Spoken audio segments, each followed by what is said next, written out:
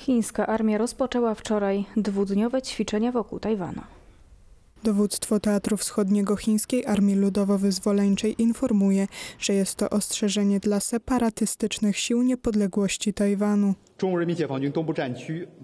Wspólne ćwiczenia i szkolenia przeprowadzone przez Dowództwo Wschodnie Chińskiej Armii Ludowo-Wyzwoleńczej w pobliżu wyspy Tajwan miały na celu ochronę suwerenności narodowej i integralności terytorialnej oraz surowe ukaranie sił separatystów za dążenie do niepodległości Tajwanu.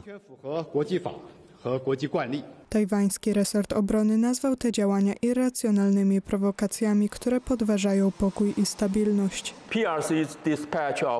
Wysłanie przez Chińską Republikę Ludową samolotów i statków nękających sąsiadów zagroziło pokojowi i stabilności na świecie. Ich ćwiczenia wojskowe nie pomagają w poprawie sytuacji wokół cieśniny tajwańskiej, a także podkreślają jej hegemoniczny sposób myślenia.